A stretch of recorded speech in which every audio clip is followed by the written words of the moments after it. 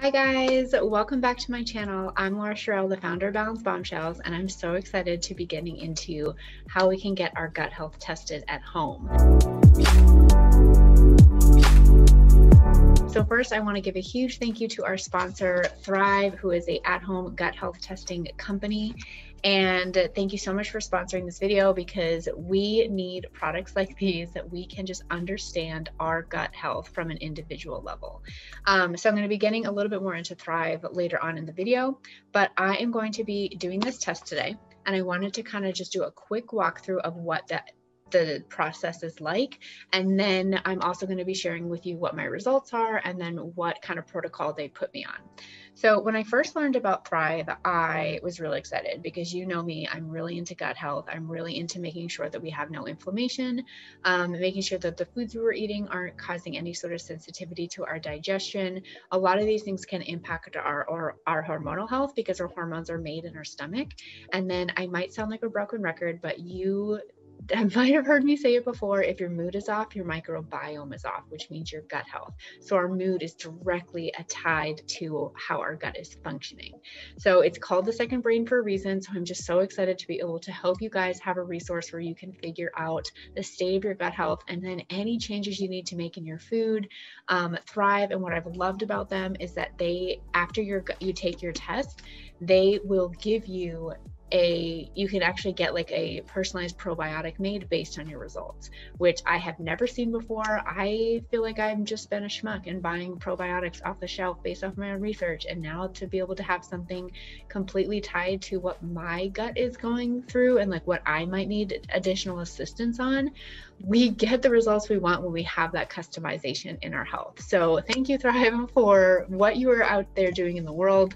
Um, and I'm just so excited to share with you guys how to do this test. And we also have a little kitty friend, Lacey, who is joining us today.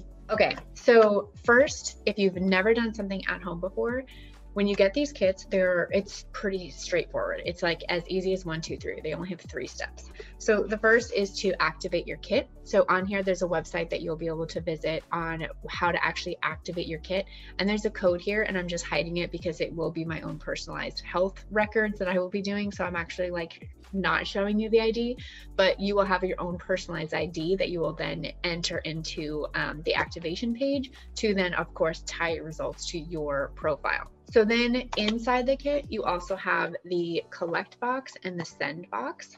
So first, when you're going to take your sample, you take out the collect box, and this is how you're actually going to take your sample. So if you've seen some of my videos before, um, I have done at-home hormone testing, and that was all through a blood sample. This one is through a fecal sample. So it's taken me a little bit from when I got this in the mail to actually do it because I just had to wrap my brain around it. So basically, there is a swab and a vial in the collect kit and you basically, when you go to the bathroom, you wipe like normal. When you go number two, if we need to also be clear about that, you then take the swab and you wipe a sample off of it and put it in the vial. You swish it around. This says there's all instructions here too. So if you're like, Laura, I'm confused, there's also instructions right here. And you vigorously like rub it around for 20 seconds in the collected collection tube and then you close it you shake it for five seconds and then that's essentially how you take your sample to then be sent to the lab to get it tested.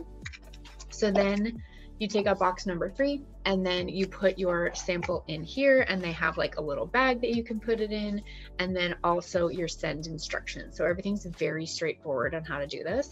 And then if you're in the United States, they have paid shipping for you. So if you're outside of the United States, you're going to have to look into what your carrier will provide or not. But I live in the US, so this came with a addressed label that I can just drop it in the mail and I don't even have to pay for extra shipping or anything. Um, so I'm going to be getting that in the mail before I go on vacation because I want to be able to get my results when I come home from vacation. So it takes about two to three weeks to get your results back, and then you will get it in your portal from where you activate your um, kit, and you'll get an email when your results are ready. But what I'm really anxiously awaiting is what those results will tell me because they're going to give me a personalized um, food plan of any foods that I should be eating or should be avoiding for my own gut health. Um, you guys might have watched my videos before where you know I have a lot of food sensitivities. So I don't eat gluten, soy, dairy, those things my stomach just doesn't like. It screws up my digestion. It makes me feel more bloated. I definitely have more period problems.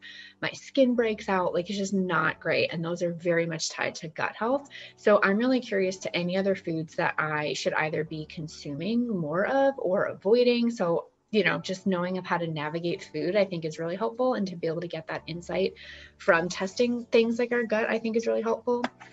And then they will then help set me up on a probiotic plan with a personalized probiotic made just for me based on my results. Like, honestly, guys, I'm like completely geeking out about it. And that's why I was really excited to share this information with you because I haven't seen a company that will help make personalized probiotics that way. I've seen some companies that will make a personalized um, supplement based off a quiz that you can take online, um, which I also think is really cool. So if you guys want information on that, just definitely let me know. But to be able to test our gut I don't think I can like reiterate enough because there's a lot of women in our community that are suffering from energy, from like low energy, from not sleeping as well, from mood issues, and everything stems from our stomach. I have done, I feel like sometimes I've done like a complete overhaul on my stomach.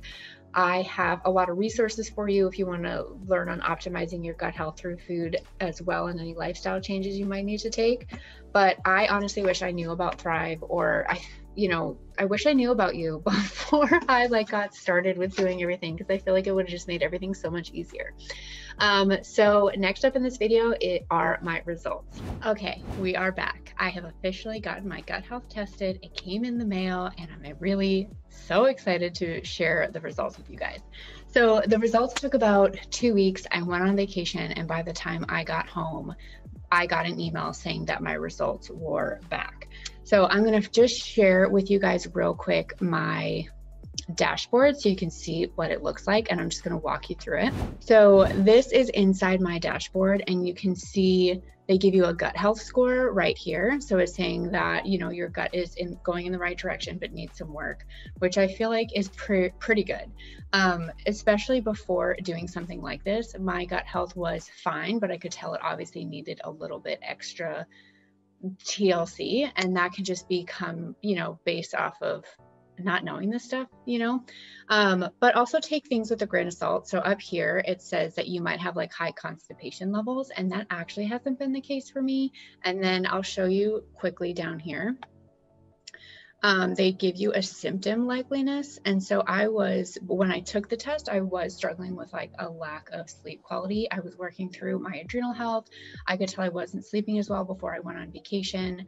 Um, and but I, my skin has been fine. I have not been constipated and I have not been bloated. So definitely take it as a grain of salt if it's telling you what symptoms you might have. And you can even see right here, it says your symptom likeliness and it says nine potential symptoms, such as. So potential potential, meaning you might not have them. But this was interesting. So my bacteria level, you can see that 20% was optimal and then 80% needs work.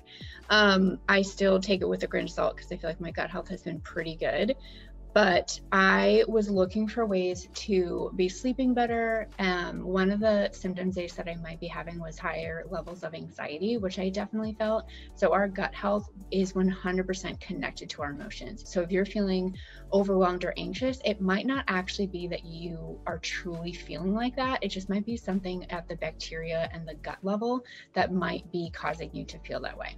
So what I really like about Thryve's dashboard is you can order your personalized probiotics, which I'll talk about in a minute because I did decide to do that and I've been taking them now for almost four weeks. Um, and I'll tell you my experience with that. But I really loved diving into the personalized food plan. So I'm going to show you, they give you, they gave me, you know, 89 foods to eat based on my gut health test and then 91 foods to avoid. That's obviously a lot. I was just kind of like, okay, what do I actually need to focus on? And what I really liked is that they give you their top recommendations. So for and you can kind of see like food recommendations. You have a tab for recommended and then a tab to avoid. So then this is a personalized food list that's now customized for me. So my top five vegetables that I can be focusing on are these five. So I have been trying to, you know, do more celery juicing, which I was really into during pregnancy and even like before getting pregnant. And then I kind of fell off because I got really sick of juicing. But now I'm like, okay, cool. Celery is really good for me. I've been trying to put, you know, celery in smoothies. I don't always like snacking on it, but just finding ways that work for my own preferences. And then I love grilled asparagus, so I've been trying to buy that more. And then I've been sipping on more chicory tea. Um, I can certainly eat chicory, but I like to have it in a tea format. And then trying to find also wild garlic. Um, and then I can click on, okay, what other vegetables should I be eating? And this is all tailored to your gut bacteria. So you can see right here, they're saying like, okay, if I have more chicory, it's going to increase these other strands. And then you can click on see more, and then it walks you through all the other bacteria strands that this specific food can help me increase. So that's going to promote better gut health by focusing my food a little bit more strategically. And then I can go down here from like meal planning. Like, so I eat a lot of spinach, I do a lot of Brussels sprouts. I'm not a big fan of mushrooms, but it's like, okay, maybe I can start trying to incorporate them more. I really like cauliflower. So you can kind of just see all of these vegetables that I can look at and start like meal planning and meal prepping with. Um, I tried eating more cabbage um, because it was on here and I'm not like a cabbage fan. So I ended up like steaming it and I made it with some sausage and it was actually like really nice. And then, of course, beets are on mine. I feel so good when I have beets. So, what I found really interesting about this too was all of the foods that I actually gravitate towards because they make me feel really good. I can tell my digestion's good, my energy's good.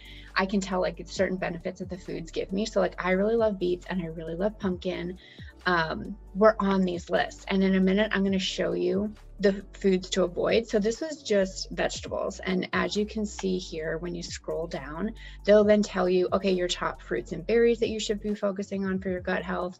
Um, I had one top legume, so which is green lentils. So I went and bought, um, I really like green lentils in a pasta form. So then I can feel like I'm eating pasta because I'm gluten free. I actually haven't been able to eat gluten for almost 10 years. So being able to find other products that now are really going to support my health, but also make me feel like I can indulge in pasta, um, I feel like is a win win and then certain nuts and seeds. So I also do seed cycling. So sesame seeds and sunflower seeds are, I can tell, really beneficial for me because they help increase progesterone, which is a hormone that I usually have to work at. So these are something that I grind up and put in smoothies anyway during my luteal phase.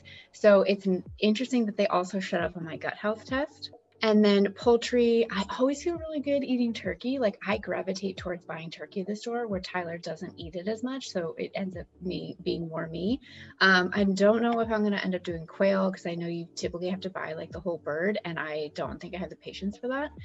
But then also looking at my top list for seafoods and then my top list for herbs and spices, which I love cilantro, I love basil, dandelion, I end up um, eating in a tea or drinking in a tea. And then, you know, I can certainly buy, find more chives. So that was really cool to just kind of tune into of things that I love anyway were on this list because they make me feel really good. So now let's go through the avoid list. So some of these were really sad because I really like sweet potato.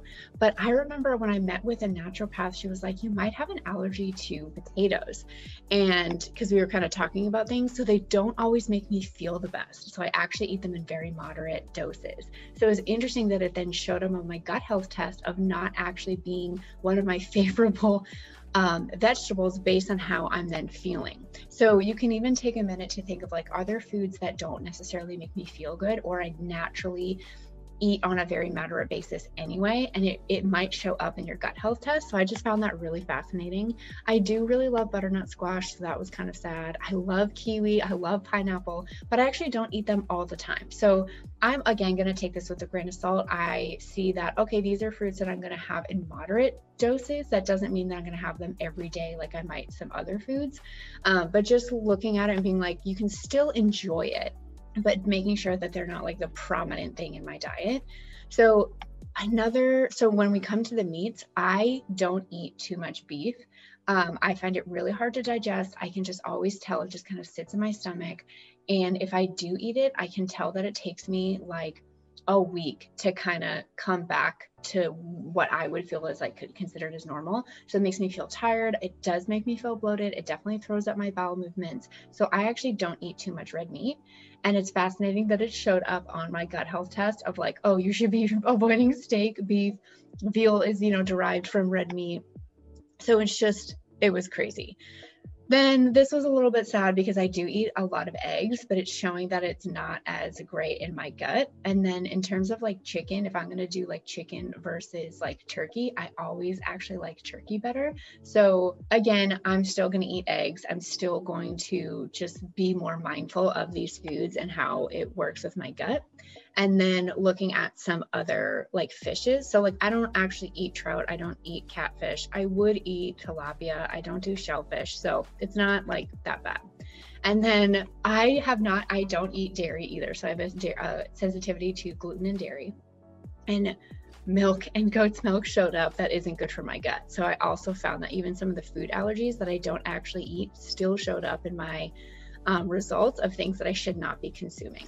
And so the same here goes with like a barley, bulgur wheat, oats. I do buy gluten free oats, but I can definitely tell that even sometimes on the gluten free one, it doesn't necessarily make me feel good.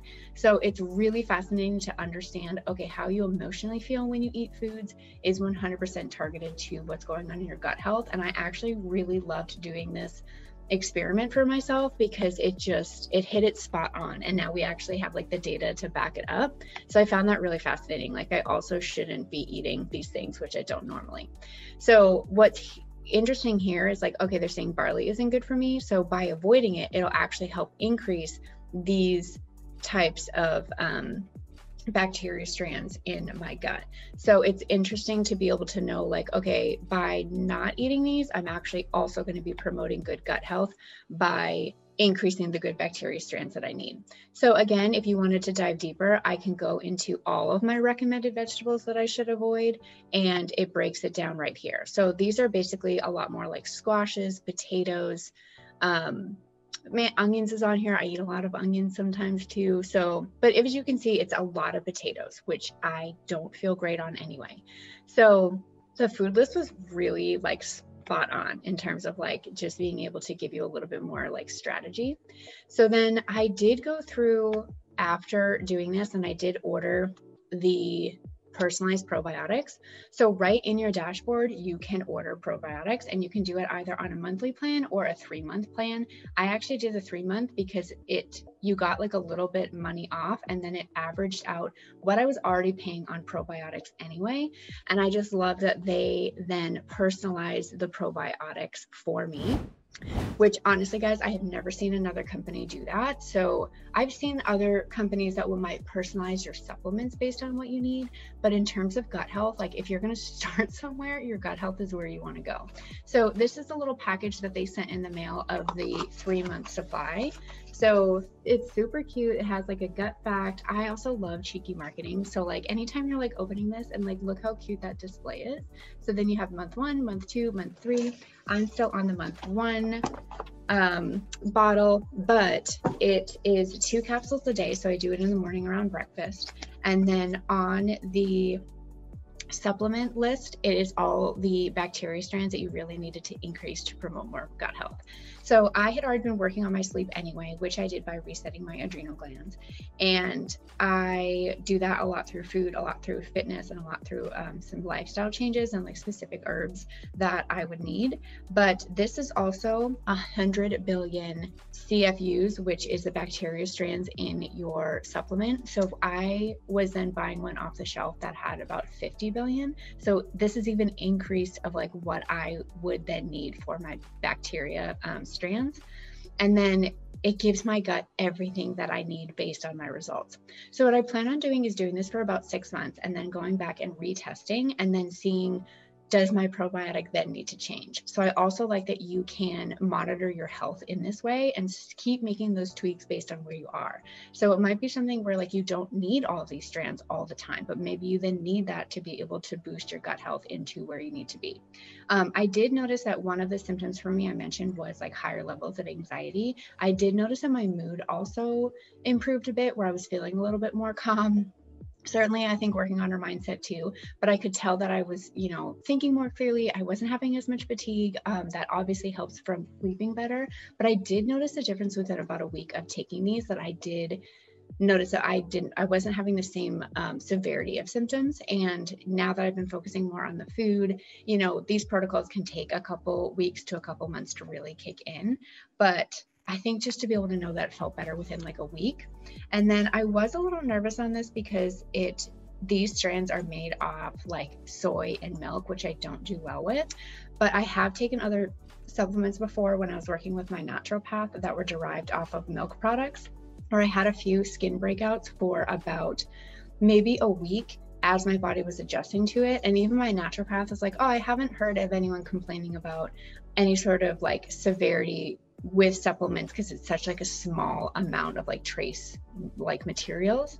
Um, i just noticed for myself and i just wanted to share that with you guys that if you are sensitive to you know milk products that your body might take a little bit to adapt and it is really small and i did notice a few breakouts when i first started taking it but, but the same thing from when i was working with my naturopath where my body regulated within a week and i no longer had those breakouts and the same thing happened with this.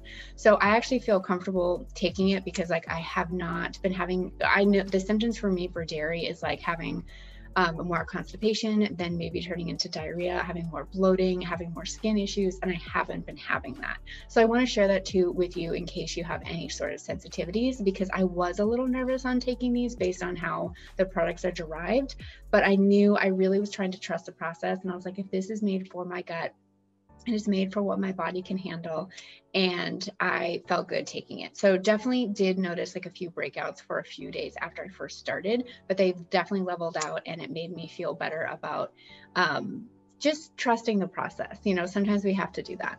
Um, but if you would like to get your gut health tested, I have, if you click the link in the description box, you can get 50% off your gut health. And then I'm just so excited to hear if you guys end up testing your gut as well. And if you decide to do the personalized probiotic, which I think is such a game changer in how we manage our health. But thank you so much for joining me today on this video. And if you have any questions, please drop them below and I'm here for you. Thank you.